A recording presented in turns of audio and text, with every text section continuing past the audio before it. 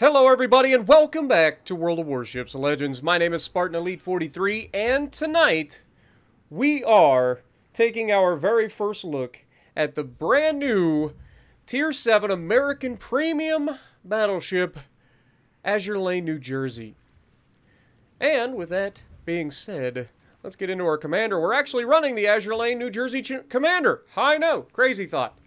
But uh, I'll explain why as we get into it. So first of all, we have Azure Lane Scharnhorst and we have Arthas the Cold as our inspiration. I know, I changed it up a little bit on you guys, but I'll explain why. So Arthas actually increases your damage by 20% while your catapult fighter is up.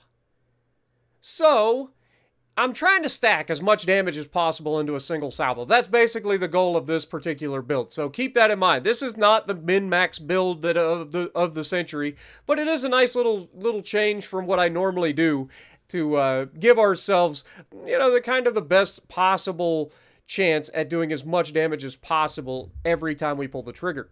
Now, with that being said, our commander perks, we got Flammable Cannoneer, Gyrating Drill Bits, Firefighter, which actually takes away all of the negatives from this and then some. See, we have a plus 13% chance to catch fire here, right? Well, here we have a minus 15% chance to catch fire, so there's that. The only downside here is that it does reduce your damage control party duration. Um, I'm not a big fan of that, but it's not as bad as the, um, what is that other one? There's another one, Emergency Specialist. It's not as bad as Emergency Specialist. Emergency Specialist reduced it by 70%. This reduces it by 40. So you still get a little bit of time there of invulnerability without being set on fire or floods. So it's not as bad. But your only other option here is on second thought, and most of the time in my American battleships, I'm not bothering to switch shell types. So it's just the way it is. Uh, and Don't You Just Love It is her special skill. And Deal more damage with Citadel strikes, plus 12.5% over your normal damage output. You stack that with the potential for, you know, if it's over 10 kilometers, her base her her base trait, main battery shells that travel over 10 kilometers deal extra damage. So if you Citadel something from over 10 kilometers, you're getting multiple boosts to your damage. And if you just happen to have Arthas the Cold and you've got a spotter plane up, you get another 20% of damage on top of that. And you can see where I'm going with this. The damage output potential of a single salvo if you manage to score a Citadel on a broadside target beyond 10 kilometers is pretty freaking disgusting. Keep that in mind. do not play with Azure Lane, New Jersey, uh, or any American battleship at this point that decides to run this perk. And uh, I'm just going to throw this out there. My Montana, my Kansas might be getting this uh, commander in the very near future. If not, if not for the full commander, at minimum the base trait. We might be pulling Palo Paolo Derevalov to put uh, the base trait on for this to get that extra damage that are that's beyond 10 kilometers it's it's not insignificant. And when you consider the fact that you're sending 12 rounds downrange with the Montana and the Kansas, you can see why I'm kind of excited about that. All right, so a uh, little bit, little bit of a caveat, okay? Just a different sort of build than you guys are used to. You know, you can run the normal William Sims dispersion build all day if you want, and just have another Iowa that's slightly less, less HP pool and slightly, uh, you know, slight. I say slightly more accurate. It is not noticeably more accurate. I will put it that way. So keep that in mind. You will not notice the difference between an Iowa and a New Jersey's accuracy. Uh, as a matter of fact, I've had a lot of troll salvos with the New Jersey already. But I've had some absolutely ridiculous games already, including the one that you guys are going to see. Uh, so hopefully you guys are ready. It's going to be a juicy one, I promise. So how do we have this thing equipped? Well, we've got main battery mod 2 in the first slot. We've got rudder shift time, so steering gears mod 2 in the second slot. It's you almost a requirement to run steering gears on an Iowa. I'm sorry, it just is. You need to be able to turn these things. You have to. Okay, so keep that in mind. Concealment system mod obviously gets us down to a 13.2 concealment, and then we are obviously running artillery plotting room mod 2. Now, I don't have any of the legendary commander or legendary modifications yet, so these are just your base modifications. Okay, so keep that in mind. Now, we are running the uh, Italian Unity flag because, you know, if you hold your tongue in the right just right. It kind of it looks like a Spartan helmet, even though we all know it's not. It's a it's a Roman helmet, but still. Uh, we're also running the, the premium camo that comes with the ship, which I actually quite enjoy, but we'll go over that in a minute. We are also running the Epic Battle Booster. I'm going to pull that off for the uh, for the whole purpose of the stats for you guys so you can see what you're working with. But uh, survivability, just 67,000 hit points. Uh, I believe that Iowa starts with uh, 71 or 72,000 hit points. I, I don't remember exactly. So uh, a significant drop in hit points from the Iowa. Uh, but same torpedo damage reduction, 25%. Um, artillery, you got 406 millimeter Mark 7 guns. These are the 50 caliber American guns firing the 2,700 pound super heavy American armor piercing rounds that you, you just know and you love.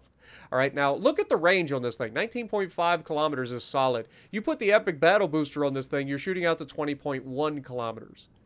That's nasty. You don't usually need that kind of range, but it's nice to have in your back pocket for you know, a rainy day. Reload time. 31 seconds. That is the uh, downside. We're not running Palo de Revel, so we have uh, slightly slower reload than the base Iowa, and we don't have that extra boost to our reload, so not ideal. But what we do have is 180 degree turn time of less than 30 seconds on a battleship, which is pretty nice, 28.6 seconds. HE shell maximum damage 5700 with a 36% chance to set fire. Nothing out of the ordinary there. AP shell maximum damage before any perks get added to this thing is 14,410, which is the original Iowa AP shell damage. I believe that is what you see on uh, Missouri. So if we look, am I correct? No, actually I lied. So 14,410 is the Iowa's pre or post nerf AP shell damage. So Missouri is the only one that gets the pre-nerf version of the Iowa AP damage, which is a little unfortunate to be honest. I mean, the whole purpose of this thing is that extra damage stacking ability. So I would love to have seen them at, you know, keep it with that 14th, you know, the same as the uh, the Missouri in that that regard. All right, so let's get back into the stats. Um, You've got the same 127 millimeter Mark 32 secondaries. You guys know how it is. Dual purpose, 10, uh, 10 times 2, so you get 20 of them, 10 on either side of the ship. Uh, they fire out to 5 kilometers, reload in 6 seconds. HE shells, maximum damage 1800 with a 5% chance to set fires. It's the American secondaries. It's the 5 inch 38. Um, it, it's a very good good secondary, but short range for this game because reasons. Um, AA defense is only 93 because we do not run the AA mod on this particular ship. Uh, if you run the AA mod, this goes straight up to 100 all day, every day. 20 millimeter Oerlikon Mark 20s, you get 64 of those, doing 195 damage per second, reaching out to just 2 kilometers. 40 millimeter Bofors Mark II, you get uh, 19 times 4, that would be 80 minus 4, which would be 76. 76 of those doing 302 damage per second and 3.5 kilometers. I know, I just did math live right there for you guys. In my head, that's how that works. 127 millimeter Mark 32s, you get 20 of those doing 151 damage per second, 5 kilometer firing range. So you've got one slightly standoffish, and then the rest of it is close in air support. So you're not going to be shooting things down until it gets on top of you and drops its ordnance, and then suddenly they'll just start dropping like flies. It's just how it works. Maneuverability, maximum speed 27 knots because we are running the gyrating drill bits. If you didn't run gyrating drill bits, you'd be running roughly uh, 30 knots, I believe, is the base speed of the Iowas. Even though in real life they did 33 knots. Just saying, Wargaming, fix it. Why can't we have 33 knot Iowas? Huh? Huh? 920 meter turning circle. So the turning circle is actually slightly worse on the New Jersey than it is on the Iowa. Iowa has a 910 meter turning circle, and the Iowa's rudder shift after the uh, the steering gears is on should be like 14.2. This is 15.6. So if we look at our Iowa, no, I guess it's 16.6 still. What? Okay. And I guess it's nine. Did they nerf the? When did this happen? I could have swore that the Iowa had a 910 meter turning circle, and that with steering gears on, it dropped it to like a 14.2 conceal or rudder shift. Maybe I'm getting rudder shift and concealment mixed up, but I, you know, things happen. But anyway, back to the New Jersey. I promise we'll get through this. Um, anyway, concealment. 13.2 kilometers by sea with the concealment mod, 11.1 by air, 2 is always guaranteed, and the 14.8 kilometer smoke firing penalty. Armor, it's an Iowa. It's got great armor everywhere except its superstructure, which is absolutely ridiculously um, healthy. Like, you guys know it by now. I've said it a million times. American and German battleships with their massive superstructures have a lot of hit points allocated to the superstructure, so you can get chunked repeatedly over and over and over again uh, and just keep just bleeding health. Uh, but other than that, it's got very good armor pretty much everywhere uh, except right there. But that's not to not to say that there isn't a belt underneath it. But that is extra. Okay, so you have 20, 25 millimeters of side plating on top of the extra that you get. Now let's take a look. The Citadel, get rid of the guns. The Citadel is at the waterline and slightly below, so this thing up close is actually somewhat difficult to Citadel. It's not impossible, and if you make any sort of turn towards whoever's shooting at you, you raise that Citadel even a slightly, you're going to get blapped.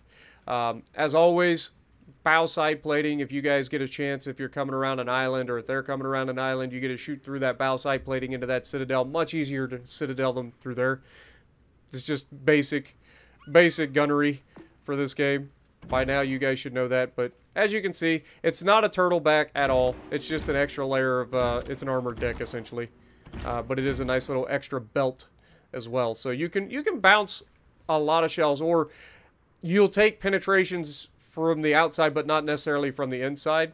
So they won't necessarily do any damage. So it, it's pretty nice. I love my Iowas. You guys know this. I'm kind of biased. So uh, let's take a look at it. Long reach, above average main battery range. That is true. Hit them before they can hit you. At tier 7, I believe it has the longest range of any battleship in the game currently.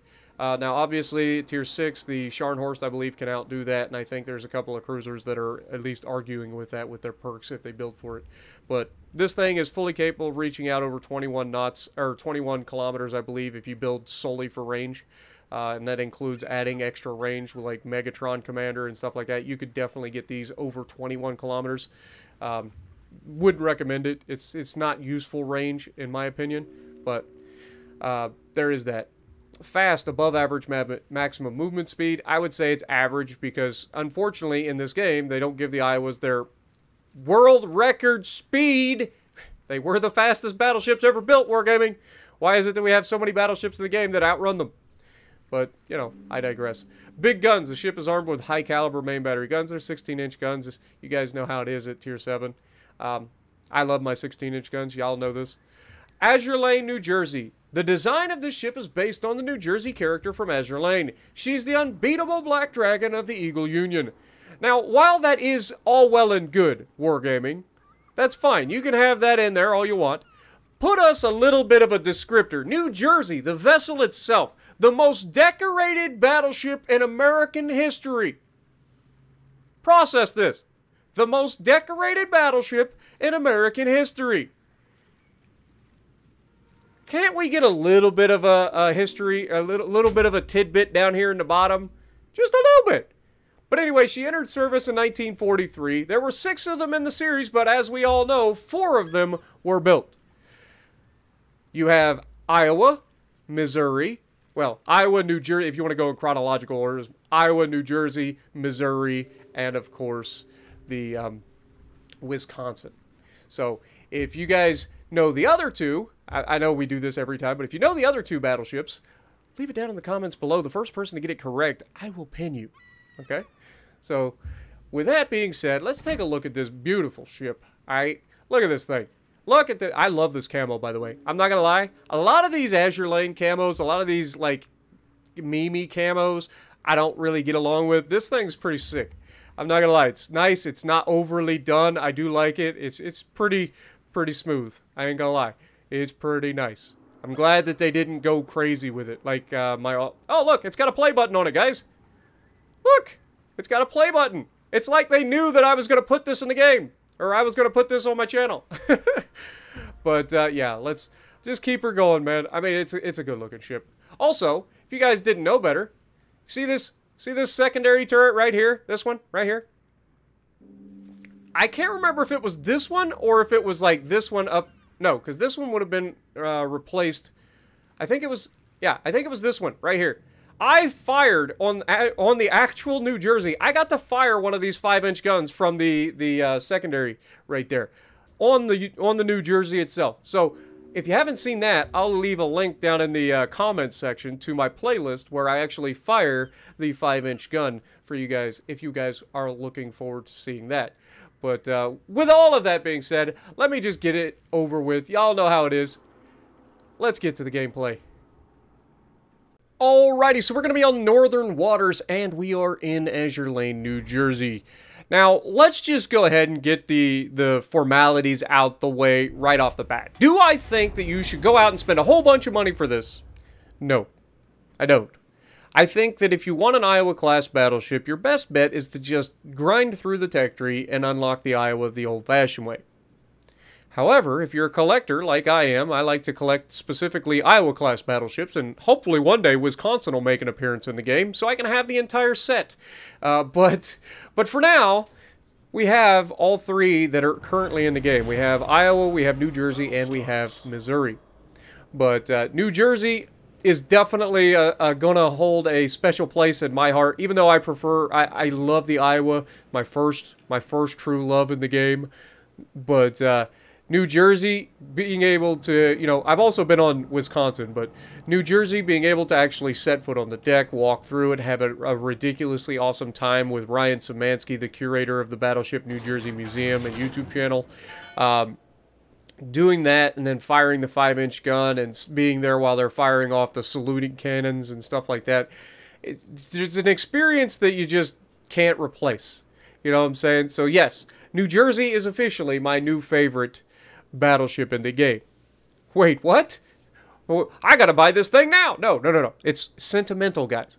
You are not going to notice any difference between this and the Iowa. You're just not, other than less hit points. but I promise, it's not worth the the money if you already have the Iowa. Now, if you're a collector, by all means, go for it. Um, the commander, is she worth it? Um, honestly, I'm kind of on the fence. I like the the difference. I like that they're reaching out and they're they're doing different things with with um, you know increasing making different builds for for the same ships and stuff. You know what I'm saying? Like giving us differences that we can actually like go out and have something completely different. So for like Iowa, Missouri, we go full dispersion build. On this thing, we go with the meme build for the damage, the just absolute power broadside. It works or it doesn't. You know what I'm saying? Uh, and it's okay. I'm happy with that. But uh, here we actually take it, dude. I mis misled this guy so much. I expected him to slow down. He didn't slow down. And these faster shells are great. Don't get me wrong. That was the other thing I, I forgot to tell you guys. These actually have a faster shell velocity than the stock Iowa.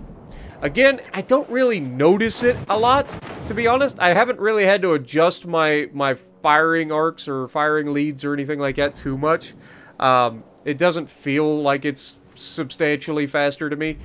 But that's just, you know, my personal experience. You guys know it's early on. We'll see how it goes down the road. But here we take a shot at the Edinburgh. We know we don't overmatch him, so we aim superstructure and we, we punish him we punish him. Remember, anything over 10 kilometers gets extra damage.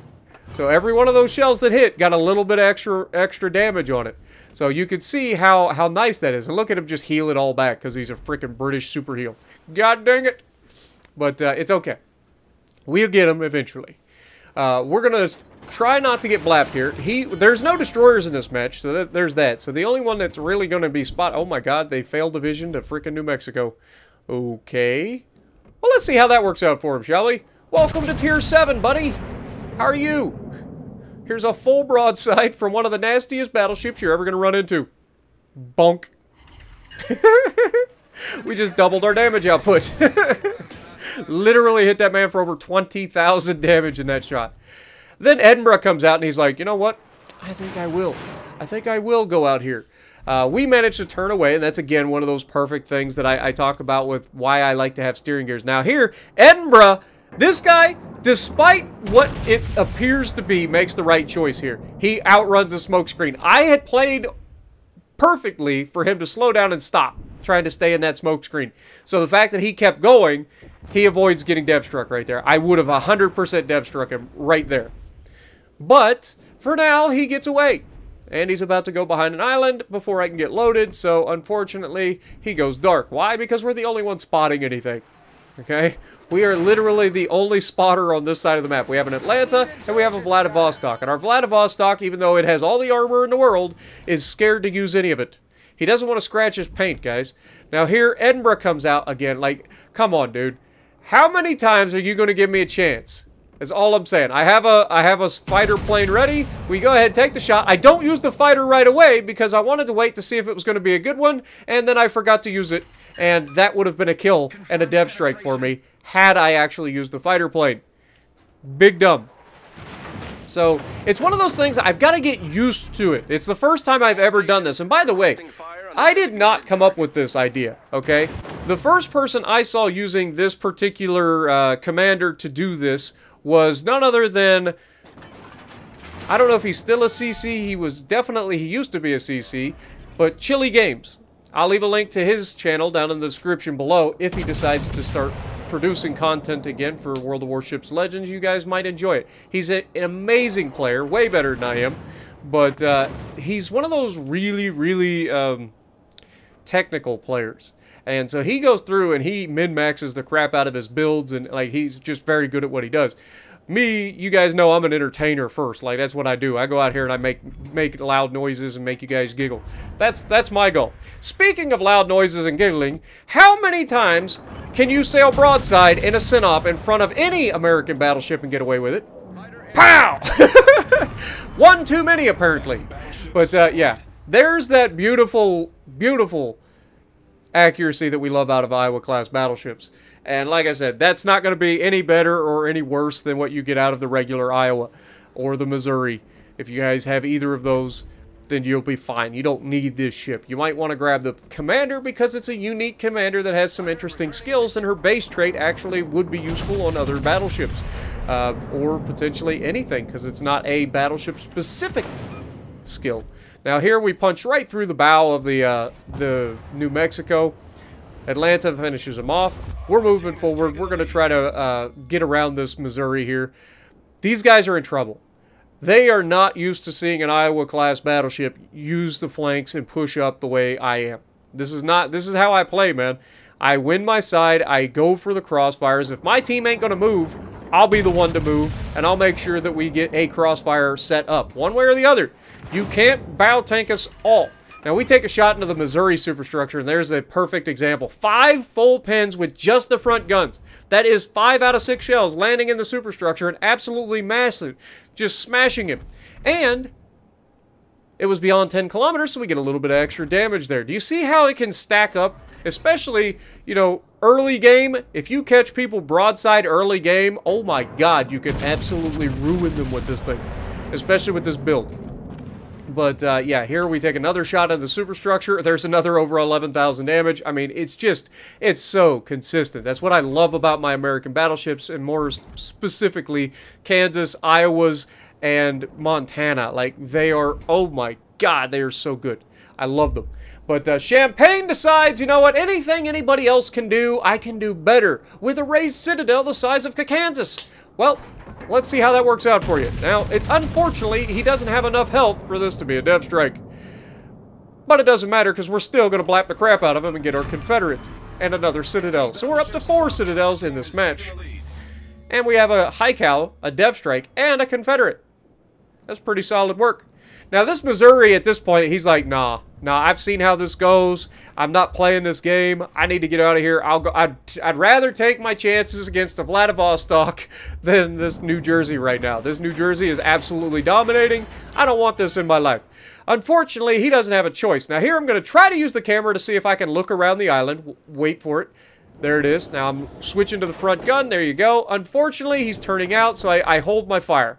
No reason to waste the shot into the island. We're going to hold our shot, wait for an opportunity, and here's where I should have once again used my freaking catapult fighter to increase my damage, because if I had, he dies. But I didn't, so he doesn't. But we just hit him with all nine shells. Only one of them didn't do damage. Nine shells sent down range, nine shells hitting. Eight of them landed in the superstructure and did enough damage to leave him just enough to get away. 185,000 damage done. Con Confederate, High Cal, Dev Strike, top of leaderboard, 2,600 base XP. not too shabby. Let me know what you guys think down in the comments below. Are you looking forward to New Jersey? Do you think it's just overpriced bullcrap? Let us know. And if you like what I'm doing, punch the like button, leave a comment below, subscribe to the channel if you haven't already, and as always, I will see you in the next video.